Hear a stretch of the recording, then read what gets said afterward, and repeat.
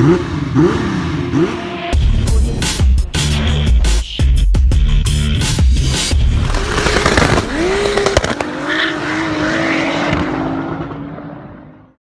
einen wunderschönen guten Abend, meine lieben Zuschauer, lieben Liebenden und herzlich willkommen Turbo Gockel Video. Heute aus einer ganz anderen Perspektive, gell, Hase? Marina am Steuer, Wie immer. wie immer. Leon sitzt da hinten. Ja, und wisst ihr, wo wir sind? Wir sind am Farkasee und zwar, ja, am Wörthersee, kennt ihr ja Wörthersee, aber wir sind am Farkasee. Ja, und wir besuchen jetzt gleich der Arnold, da ja nichts mehr nicht mehr zur Arbeit kommt. Müssen wir jetzt mal gucken, was der Müssen wir jetzt mal gucken, was der so treibt. Ja, müssen wir mal Spionage betreiben hier ein bisschen. Mal gucken, ne, Spaß beiseite. Ihr wisst ja, Arnold wird operiert und Arnold ist jetzt gerade hier in Österreich und den besuchen wir jetzt einfach, weil wir eine kleine Weltreise machen. Aber bevor wir den Arnold besuchen, möchte ich äh, nochmal ein Video dazu schalten für euch. Und zwar von unserem Andi, der wo sich über die 16VG60 so heftig auskennt. Er hat gesagt, Gockel, äh, ich muss mich irgendwie, weil das Video so positiv da irgendwie ausstrahlt und alle feiern den Andi, hat er gesagt, ich muss mich irgendwie für die ganzen Kommentare und das Feedback und alles muss ich mich bei den Leuten bedanken. Und Andi hat gestern Abend extra für euch noch ein kleines Video mit dem Handy gemacht und das möchte ich euch auf jeden Fall nicht vorenthalten und das schneide ich da jetzt einfach mal mit rein und dann könnt ihr mal gucken, was der Andi für euch so erzählt hat und sich, glaube ich, ein bisschen bedankt hat. Ne? Ja, das war hier ein bisschen Chaos. Da irgendwie sind sie hier fast gerumpelt. Das wird hier was gerumpelt. Halt, Die sind einfach alle gefahren, keine Ahnung. Also Leute, wie gesagt, ähm, jetzt hört euch mal an, was der Andi euch zu sagen hat. Äh, ihr wisst ja das Video mit dem äh, 16V G60 mit den drei Limiteds, ne? das ist der Andi, falls irgendwelche das Video noch nicht gesehen haben sollten. Ja, ich schneide jetzt mal das Video mit rein und wir sehen uns gleich wieder. Ne? Bis dann. Ja, hallo, guten Abend, liebe Gockel-Community. Da ist nochmal Andi aus dem heutigen Gockel-Video. Mir war jetzt echt ein Anliegen, dieses kurze Video noch zu machen, was der Gockel nachher online setzen wird. Und mich zu bedanken bei euch äh, für das tolle Feedback, was wir bis jetzt bekommen habe, haben für das Video, was da heute gelaufen ist. Danke an alle, die es bis jetzt äh, bereits gesehen haben und äh, danke an die, die es noch anschauen werden. Ähm, ja, also es ist wirklich überwältigend, wie ihr da die Videos äh, feiert und, und teilt und kommentiert. Das ist für mich fast ein bisschen zu viel, ja, des Guten, gell, und, und wahrscheinlich werde ich nicht jede, jede Nachricht persönlich beantworten können, weil das wäre jetzt einfach zu viel für mich, oder? Aber es war mir jetzt wirklich äh, wichtig, euch noch Danke zu sagen, oder? dass ihr das so feiert, was ich die letzten 30 Jahre so gemacht habe. Oder? Obwohl es wahrscheinlich viel Gequatsche war, oder? Und, und weniger Action, wie halt sonst äh, ihr gewohnt seid von den von, von Gockel seinen Videos. Äh, aber ja, hat's die einen oder anderen wahrscheinlich schon ein bisschen interessiert, wie so die Geschichte ist von den einzelnen Fahrzeugen. Und äh, herzliches Danke natürlich auch noch an den, an den Gockel selber f- für das, was er, was er da aufführt mit, dem, mit den Videos und was er sich da für Arbeit antut und äh, mit den ganzen Lieder schneiden und, und ja, ist wirklich hervorragend, wie er das macht. Danke natürlich an die Marina oder, für die tolle Kameraführung, oder, die macht es auch sehr gut. Und an den Leon natürlich, den dürfen wir nicht vergessen, oder, dass er so brav gewartet hat, bis wir mit dem Video fertig waren. Ah, das ist wirklich ja, ein toller Bub, ja. Also, vielen Dank fürs Schauen und Teilen und ja, vielleicht gibt's noch einen zweiten Teil. Werden wir schauen, was noch kommt in der Zukunft. Und ich freue mich aufs nächste Mal und sage nochmal vielen Dank und wünsche euch einen guten Abend. Tschüss. Also, jetzt sind wir beim Arnold und jetzt platzen wir einfach mal da rein. Gucken mal, was da nicht. Er weiß aber schon, dass wir kommen, ne? Nur wann wir kommen, da- das haben wir nicht gesagt. Ne? Also laufen wir jetzt mal. Hi, die Urlaubsgäste. Servus. Alles klar. da ist er, da ist er, der Superstar. Der Superstar. Die, die haben dich schon gesucht, Arnold. alle. Ja, ich ja, bin ja hier. die haben dich schon vermisst. Ich bin hier. Ja. Was? Von der Sonne her ist so. Ich, Ach so, von der Sonne her. ja, so. Und Arnold, was geht? Ja, sicher. Schönes Geht's Wetter. dir gut? Geht's ja. dir besser? Sehr gut. Schönes Wetter. Aber abgenommen Jetzt, jetzt blendet es mich. Ja, sechs Abgenommen. Sechs Kilo. Kilo. Ja. Und nichts mehr pumpen, gell? ja, ich kann ja nicht, ne? Schule ist kaputt. Ist, also wird das nochmal. Ja, ja. Der eine, der eine hat so gesagt, scheinbar kriegen wir es wieder noch. Ja, er oder? hat gesagt, wir kriegen es wieder hin, du kannst wieder pumpen. Und dann kannst du wieder pumpen. Und dann gibt es Vollgas. Mehr wie vorher. Okay, okay, okay. Ja, wir haben, äh, wir haben vorhin mit dem Arnold schon geschrieben, wir wollen jetzt heute noch, äh, jetzt haben wir auf jeden Fall Essen gehen. Äh, zum Anheiz. Ne, halt du hast das schon gegessen, ne? Ihr wartet Ja, da nur. vergessen, ja. Ja, und dann wollen wir an das Maybacher, Maybacher. Maybacher Bächle, oder wie sagt Ja, ihr das ist so Thermalquelle. Ja. Und da sind zwei Seen dabei. Da kommt warmes Wasser aus der Quelle, warmes Wasser. Ja.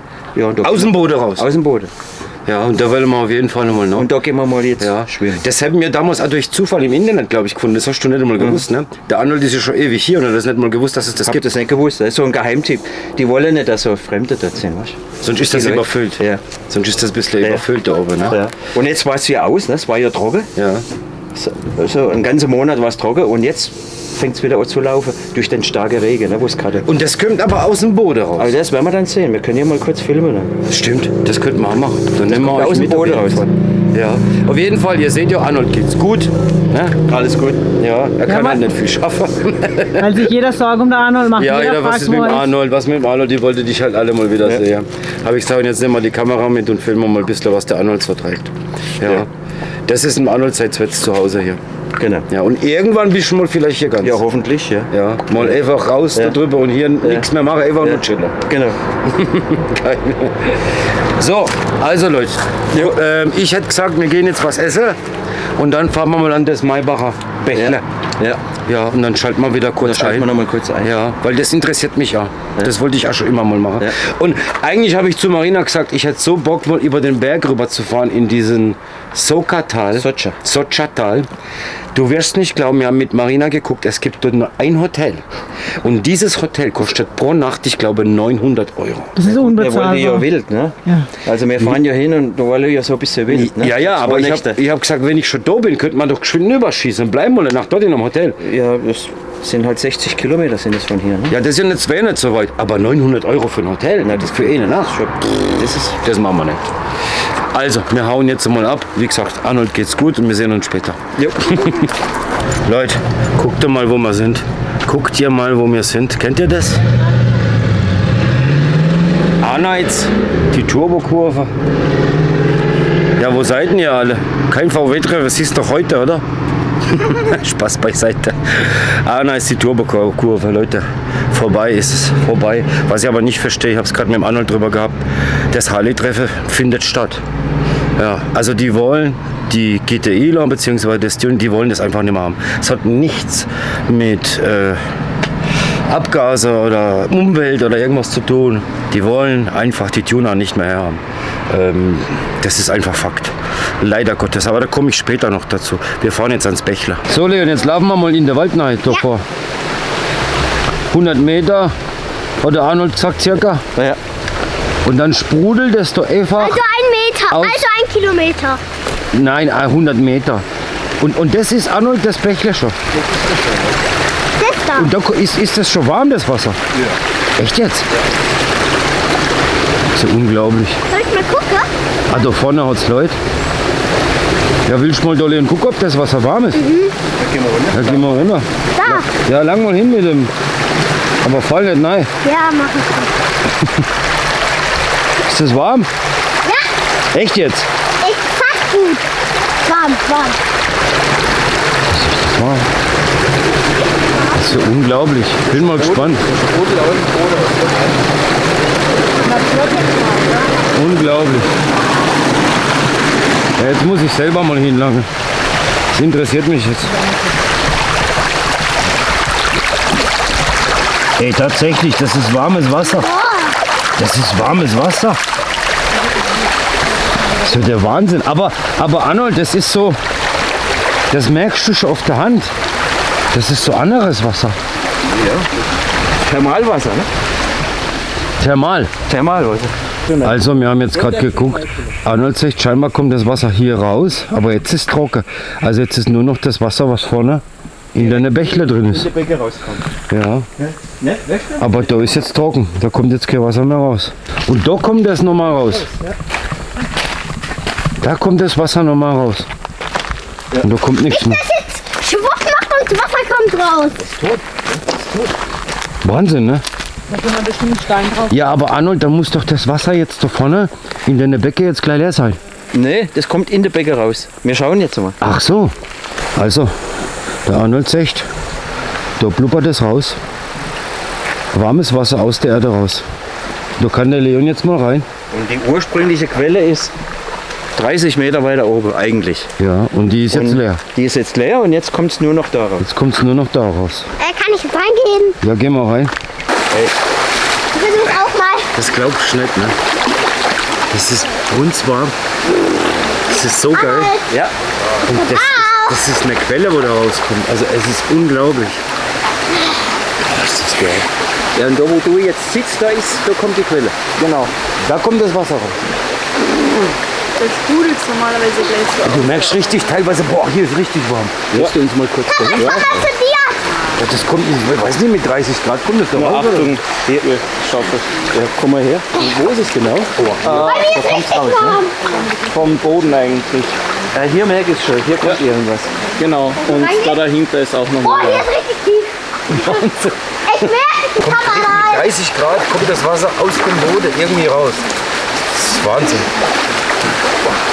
Und da beim Nachts, ne, dann haben wir reine Ideen. Da ist ja kein Licht, ne? Mit dem Handy haben wir geguckt.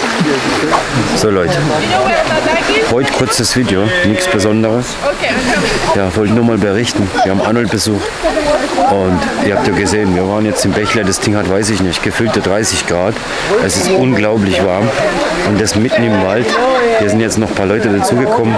Äh, hier kommen sogar nachts manchmal Leute und baden einfach. Und das ist nur ein paar Mal im Jahr so, sonst ist das Ding einfach leer. Kommt aus der Erde schön das warme Wasser raus.